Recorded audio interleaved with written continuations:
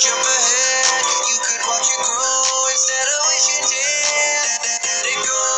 You should wait and see, cause you never know where you're gonna be. You should take it slow. Let's not jump ahead. You could